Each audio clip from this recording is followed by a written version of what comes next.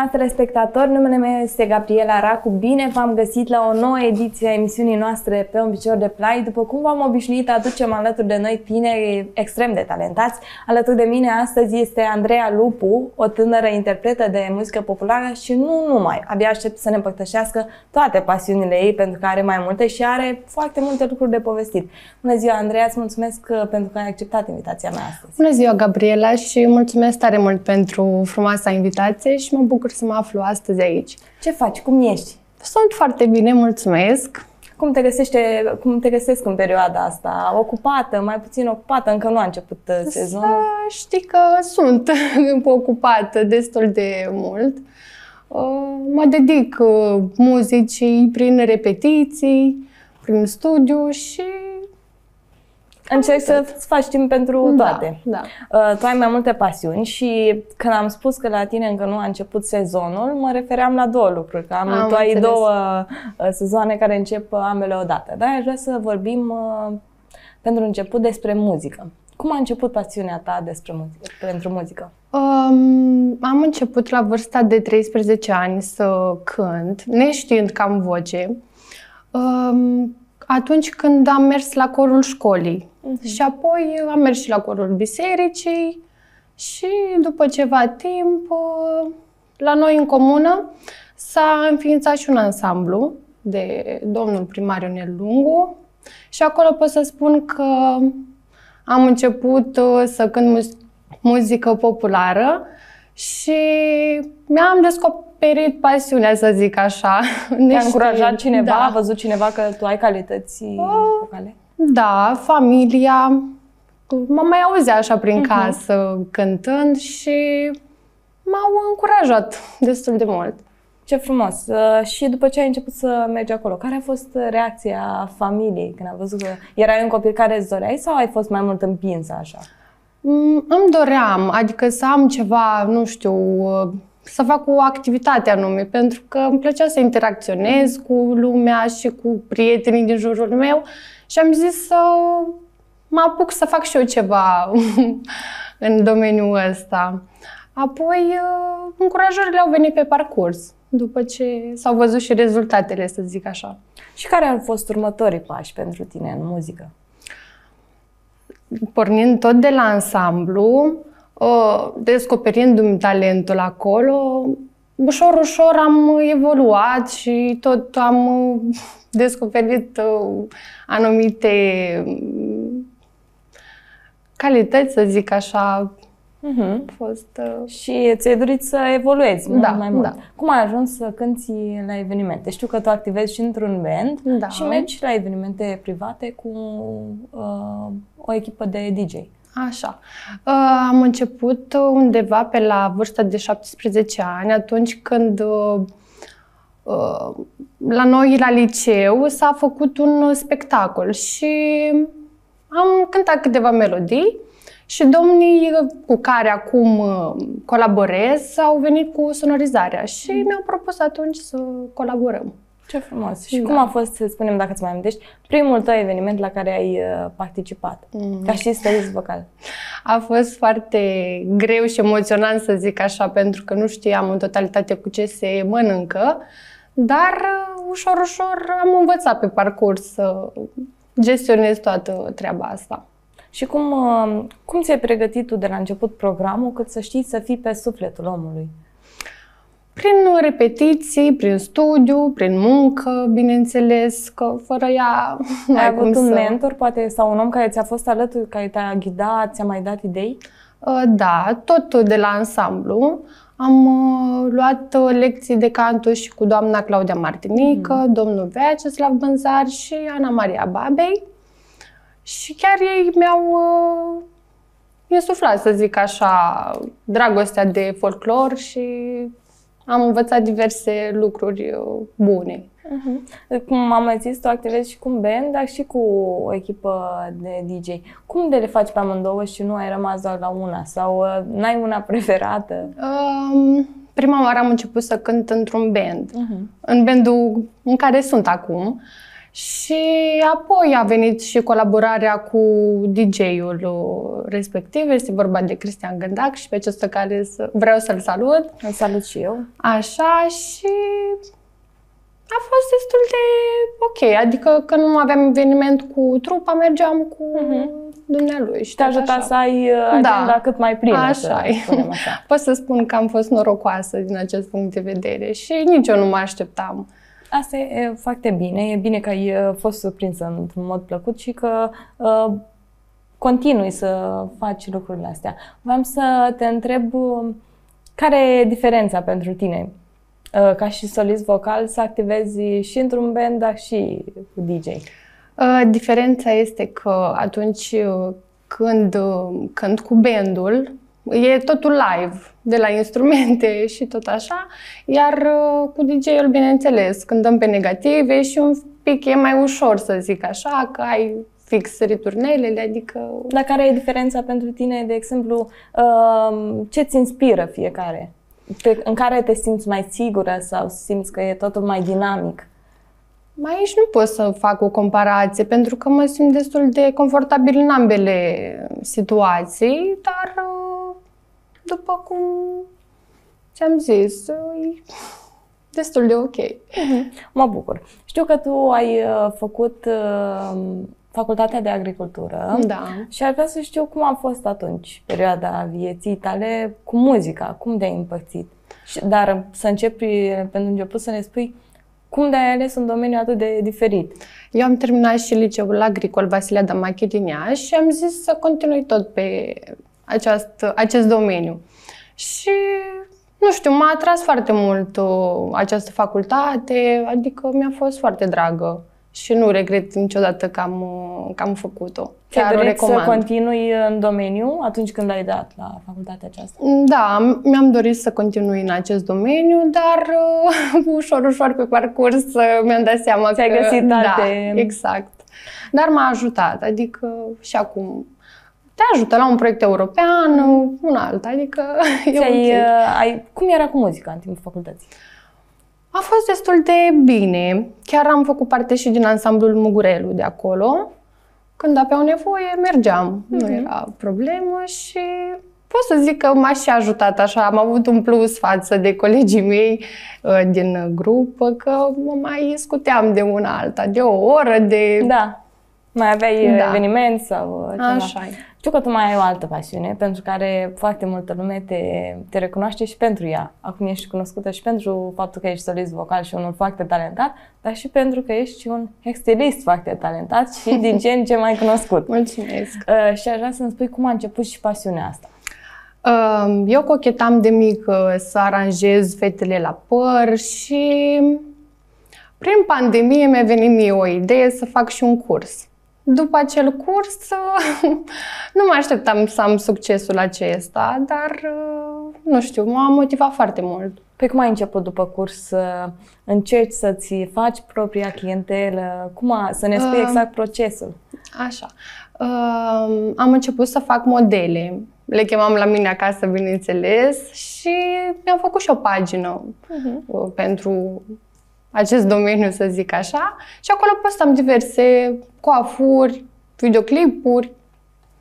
Ai și... fost uh, talentată sau uh, ai muncit foarte mult ca să ți dezvolți Să zic așa, mi-au cam ieșit din prima, pentru că îmi plăcea foarte mult și să, îmi plăcea să fiu atentă și la toate detaliile care fac parte dintr-o coafură. Adică mi-a fost foarte ușor, să zic așa, la început. Uh, domeniul ăsta e oricum uh, destul de... Uh, sunt din ce în ce mai mulți oameni, mai ales Așa în tot domeniul ăsta de beauty și aș vrea să știu cât ți-a fost greu să-ți vină mulți clienți sau să fii recunoscută?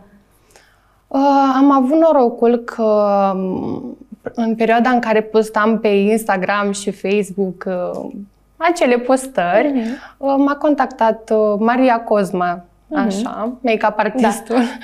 Da. uh, și am avut o frumoasă colaborare, adică m-a ajutat foarte mult la evoluția mea și pe această cale vreau să-i mulțumesc. Și de acolo pot să spun că a fost și un plus și un avantaj în cariera mea de hairstylist, să mai zic așa. colaborați acum? Mai... Momentan nu mai colaborăm, uh-huh. dar uh, e totul bine. Um, e ca în muzică și în domeniul ăsta ies zi de zi tot mai mulți exteriști, pentru că știi că în muzică mereu este problema asta, trebuie să fii mereu uh, actual și cu melodii și cu postări și cu tot felul de lucruri ca să poți să fii acolo sus, pentru că vin alții și alții, așa este și în domeniul acesta? Să știi că da, că piața e plină, uh-huh. dar uh, fiecare are clientela lui și omul oricum vine la, vine la cine îi place. Da, adică... da. La persoană și la servicii. Așa. Da. așa. Sunt, uh, de fapt, multe ori se întâmplă uh, să revină pentru că tu ai fost o persoană foarte, foarte ok și ai ajuns la suflet. Uh, te-ai gândit vreodată să-ți faci propriile piese? Uh, da. Chiar voiam anul trecut să îmi fac uh, prima mea piesă proprie, dar uh, am rămas doar cu versurile. De ce? Din păcate, nu am mai uh, continuat pentru că așa a fost să fie. Cred că nu a fost momentul și sper că anul acesta să, să scot o piesă. Îți doresc mult succes Mulțumesc. și te așteptăm aici atunci când o lansezi. Doamne ajută! Uh, un alt lucru uh, ce am observat pe rețelele tale sociale este că tu ai niște ținute deosebite la evenimente. Mulțumesc! Și aș vrea să ne spui cum ți-a venit ideea asta și cine te-a ajutat. Um, să zic așa, mi le achiziționam singură din diverse magazine, târguri și mă mai uitam, mă mai uitam și pe anumite site-uri care uh-huh. conțin astfel de ținute, dar uh, am uh, chiar și uh, câteva ei, brăuri și poale făcute de bunica mea. Ce frumos! Da. Cred că au o importanță foarte mare, uh-huh. da, așa este. Și pot să zic că sunt foarte mândră de colecția pe care o am. Uh, chiar ca și această ie deosebită, uh, ți l-ai cumpărat așa sau ți-ai dorit, ai avut un model în cap și ți-ai dorit, wow, aș vrea să am ceva mai deosebit decât ceilalți? Uh, această cămașă o am uh, achiziționată de la Livada cu rochii. Uh-huh. Acolo sunt piese unicate și nimeni nu poate să aibă aceeași piesă la fel ca da, tine. Este. Pentru Mi-am că luat sunt, și eu ceva. Da, și mi-a plăcut foarte mult, adică sunt destul de originale, să zic așa. Uh, cât de mult contează asta, cel puțin la evenimente? Vedem că soliștii sunt uh, din ce în ce mai... Uh, uh, se diferențiază din ce în ce mai mult cu ținutele. Cât de mult contează asta? Contează foarte mult din punctul meu de vedere, pentru că atunci când te, pre- te prezinți în fața publicului, trebuie să arăți impecabil okay. și să ai o prestanță deosebită. Uh, un alt subiect pe care voiam să-l abordez cu tine este faptul că uh, în partea de vest, ținutele soliștilor, din ce am observat, și chiar discutam și cu o altă invitată de-a mea, sunt mult mai extravagante. Și vreau Așa să e. te întreb de ce zona aceasta noastră nu este. Nu am văzut foarte mulți soliști extravaganți. Mai sunt care uh, pun niște obiecte unicat ca să iasă în evidență puțin, dar totuși au limita aceea să nu, să nu depășească limita bunului simț, să spunem așa. Bănuiesc că e de la persoană la persoană. Depinde cu ce îți place să te prezinți în fața publicului sau ce îți place ție să porți Mie una, de exemplu, îmi place să fiu un pic mai îmbrăcată, să zic așa, nu pot să mă prezint în fața... Nu te simți în largul Da, tău. da, așa. da, așa este. Uh, o altă, un alt subiect despre care vreau să vorbim, pentru că eu cred că tu uh, te pricepi și ești în măsură să purtăm o discuție despre asta, este importanța promovării pe social media, atât, uite, atât ca și solist vocal, cât și pe partea asta de hairstylist. Cât de mult te-a ajutat și mai ales că cum ai învățat tu pașii corecți? Păi atunci când trebuie să facem o postare în online, trebuie să fim foarte atenți la toate detaliile, pornind de la încadrarea în pagină și, bineînțeles, și felul în care te prezinți. Pentru că asta atrage și Dar trebuie uite... să avem și o descriere bună și o fotografie bună. Dar pentru... uite, sunt foarte multe postări, așa cum sunt și uh, lansări de piese și apariții, uh, cum faci să fii uh, în față, să spunem? Prin ce, ce atrage omul acum? Prin uh, unicitatea ta și aduce ceva nou permanent. Pentru că dacă ai posta cam același lucru, cam plictisești un pic. Uh, oamenii vor să învețe ceva de la paginile acestea? Bănuiesc că da. Adică uh, voiam să întreb dacă este mai avantajat omul care uh, oferă niște informații utile pentru cineva. Așa este. Și revine este pentru... foarte util, pentru că de acolo te poți inspira. Uh-huh. Și ce facem atunci când, de exemplu, uite cum ești tu, uh, promovezi două lucruri. Tu ești solist vocal și hair stylist. Da. Ți-a, ți-a fost greu vreodată să-ți faci sau ai pagini diferite? Am pagini ai diferite, pagini da, diferite. da, da. Deci Pentru- ai pagină de solist. uh, Așa e. Și cum te poate... Cum te Andreea pot găsi? Lupu, simplu. Pe Facebook, Instagram. Superb. Uh, cum a fost uh, creșterea ta în online? A fost destul de bună, să zic așa. Uh, Ți-a fost greu sau uh, ți plăcea domeniul ăsta? Mi-a plăcut, mi-a plăcut destul de mult și încă îmi place. Și îmi place să postez doar uh, lucruri uh, faine, nu știu. Eu sunt și foarte perfecționistă în uh, treaba asta și nu îmi place să fac așa o postare Doar să fie. doar să fie. Da, una și bună. Uh, și te-a afectat asta pentru că știi că acum trebuie să ai uh, uh, constant postări. Te-a afectat uh, lucrul ăsta? Mm, Uneori da, pentru că nu aveam material, pur și simplu. Ca să ai un material trebuie să faci Lucrezi, diverse da. lucruri, da. Uh, ca și solist vocal, cât de mult te ajută? Uite, știi că uh, chiar și acum uh, sunt multe rețele unde uh, soliștii pun constant uh, live-uri, cum cântă zilnic, zilnic sau chiar uh, de mai multe ori pe zi. Ai făcut și tu lucrul ăsta? Postezi? Am mai postat, dar uh, uneori lăsam balt acest lucru pentru că mă descurajam așa cumva, pentru că Apărea perfecționismul și... și asta. Mă criticam foarte mult și nu știu, înainte nu aveam încredere în mine, nu- nu prea îmi plăcea cum cânt, eram așa un pic, uh, da, dar uh, pe parcurs mi-am revenit un pic și Ce te-a făcut să-ți revii? Ce ți-a dat mai multă încredere în tine? Um, publicul m-a, m-a încurajat, să zic așa, și cei din jurul meu. Adică eu eram singurul critic al meu, dar ceilalți tot timpul îmi spunea că nu mai gândi așa, că tu chiar ai talent și e păcat să nu îl fructifici până la maxim. Te-a afectat vreodată pe scenă, propriu zis, faptul că erai cel mai mare critic al tău și să-ți dea așa niște emoții cât să nu poți să depășești momentul respectiv? Am mai avut uh, situații de genul, dar uh, mă rugam așa la Dumnezeu să fie totul bine și să iasă bine și a fost destul de, de ok. Adică Cum crezi că, uh, dacă tot am, apăr, am am atins uh, acest uh, subiect, uh, ce crezi că ar trebui să facă tinerii, de exemplu, la început de drum, atât uh, și pentru partea aceasta cu uh, neîncrederea în sine, pentru că e un lucru foarte întâlnit de foarte mulți tineri, mai ales, mai ales că online, online promovează un perfecționism pe care Așa toată e. lumea vrea să-l atingă. Și uh, atât și fetele, când arată ca acel manechin, cât și uh, sunt foarte mulți artiști care postează foarte multe piese foarte bune și e greu să ajungi acolo și de asta foarte multe persoane se descurajează.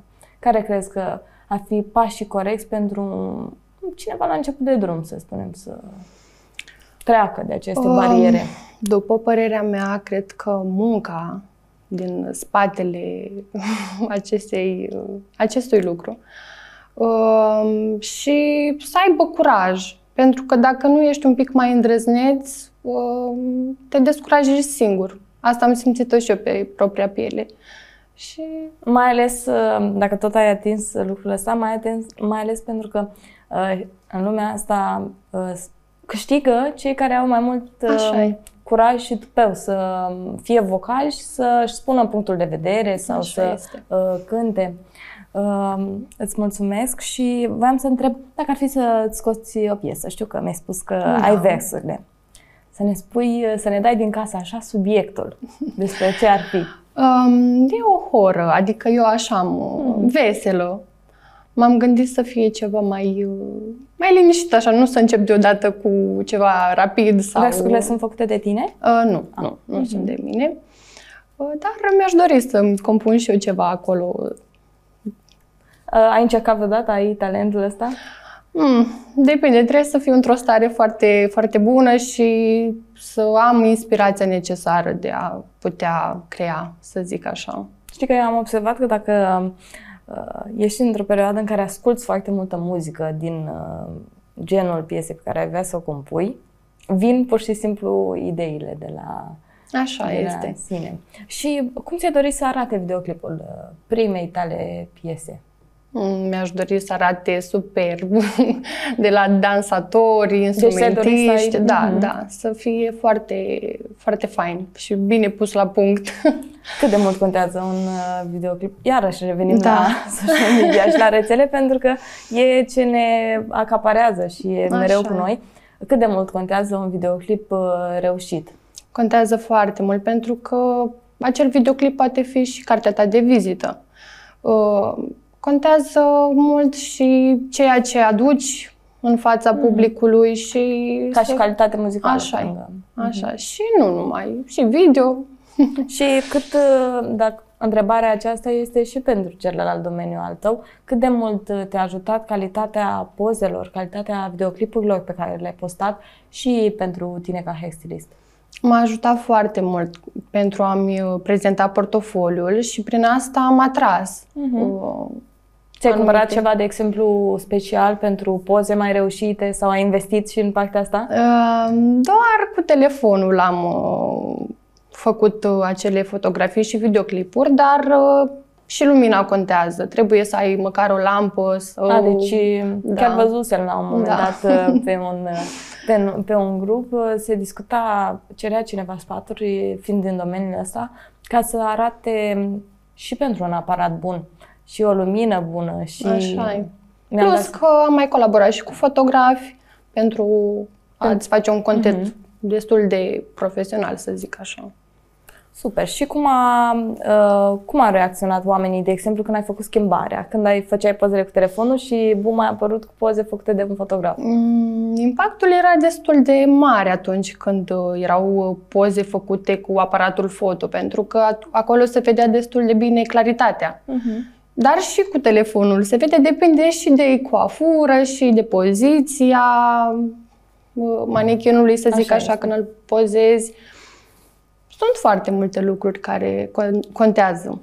Uh, tu când uh, ai spus că în pandemie ai făcut, uh, da. te gândit să uh, treci la domeniul ăsta, uh, te-ai gândit vreodată că tu fiind la agronomie, tu cântai, te-ai gândit vreodată că poate ai fi judecată la un moment dat, că uite, ai uh, făcut-o, știi cum e vorba, uite, da, ai făcut da, o facultate știm, știm. și acum schimbă domeniul. Um, poate au mai fost critici din partea unora, fără să știu sau, nu știu, am mai auzit și pe parcurs diverse lucruri, dar nu m-a interesat așa mult.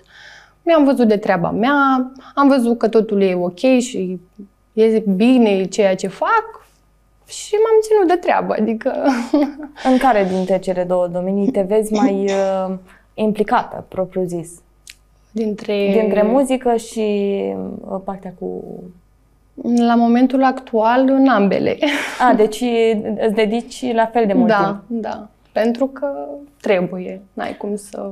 Și în momentul când, de exemplu, ai foarte multe programări, cum îți rămâne timp să studiezi? Cum reușești să te organizezi? Pentru că știu din proprie experiență, la un moment dat pierzi timpul, uh, uh, pierzi noțiunea timpului și nu mai poți să te ții. De exemplu, am 5 ore programări și să și studiez 3 ore. Uh, programările sunt în weekend, să zic uh-huh. așa. În timpul săptămânii un pic mai lejer.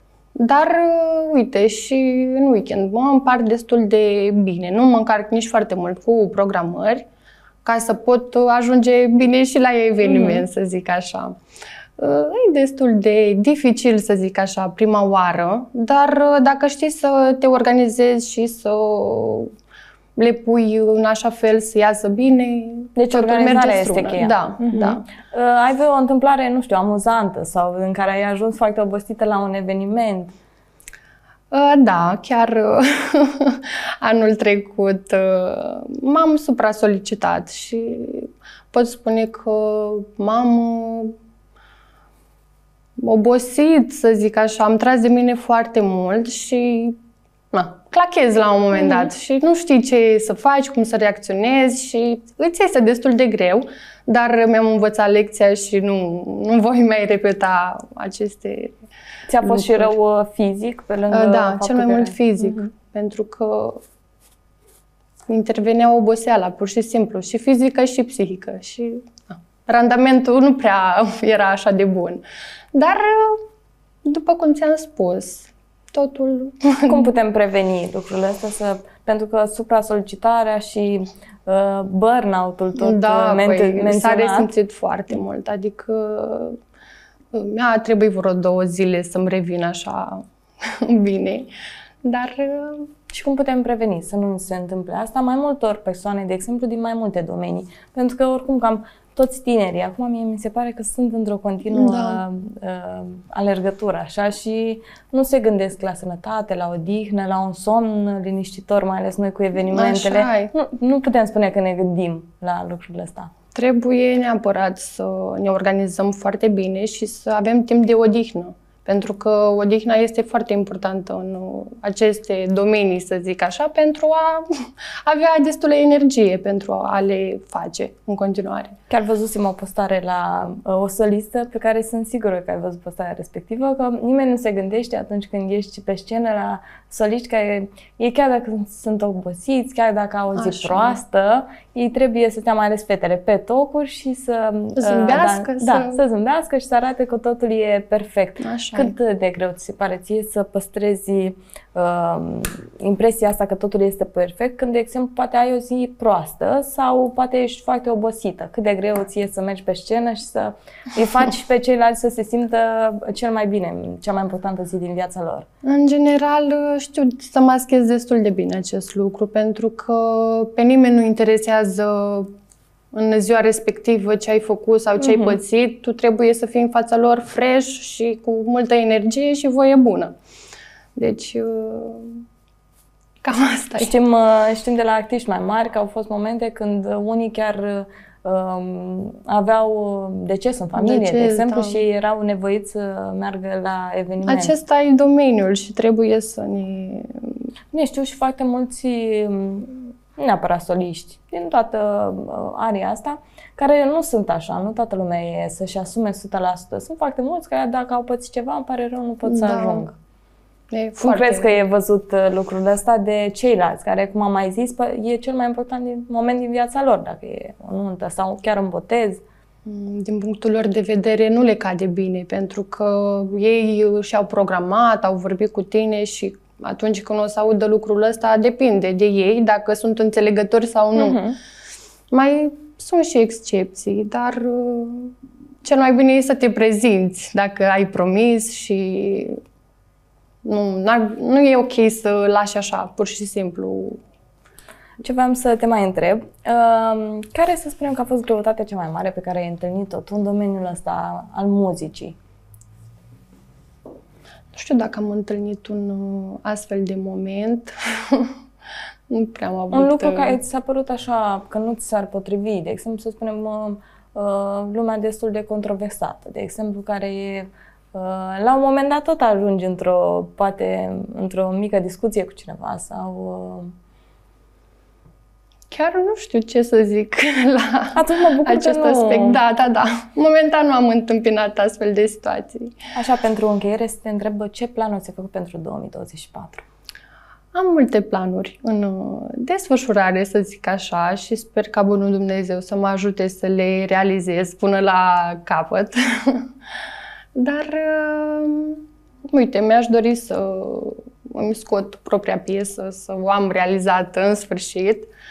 Dar uh, nu numai asta, pe toate planurile, să meargă bine. Um, tu ești în comunitatea Sunt aici de curând. Da. Și aș vrea să știu cât uh, de important crezi că e uh, ajutorul ăsta între influenceri sau între persoane influente, mai bine spus. Mm, este foarte important și chiar mă bucur că am intrat în această comunitate și pe această cale vreau să-i mulțumesc Teonei. Îi mulțumesc și eu și o salut totodată. Așa. Um, eu încă am, abia am intrat și m-a fascinat uh, absolut tot. Adică să fim așa de unite în această comunitate e ceva genial. Da, am fost și eu surprinsă că nu prea văzusem partea asta oamenilor care fac și realizează lucruri și n-au, nu știu, să spunem, o invidie pentru altcineva sau chiar își da, dau 100% ajutorul și Pur și simplu contribuie te la... ajuți uh-huh. și asta e cel mai important, pentru că te susții. Da, și eu personal n-am auzit niciodată un uh, cuvânt neplăcut față de altcineva sau o bârfă chiar. Așa și asta, chestia asta m-a făcut să vreau să rămân în, uh, alături de fete. Așa e. Îți mulțumesc din uh, suflet pentru că ai fost uh, mulțumesc astăzi alături de mine și abia aștept să mai fii alături de noi și cu alte ocazii în cazul da, în care lansezi o piesă sau de fiecare dată când uh, uh, ai ceva important de spus. Eu sunt sigură că o să se tot audă de tine, așa cum s-a auzit și în ultimul an, tot mai mult pe ambele domenii. Doamne ajută! Îți doresc mult succes! Mulțumesc, mulțumesc frumos! Stimați telespectatori, emisiunea noastră a ajuns uh, la final. Ne revedem săptămâna viitoare de la aceeași oră. Rămâneți în continuare pe postul de televiziune Apolonia TV. Vă doresc o seară frumoasă în continuare. La revedere!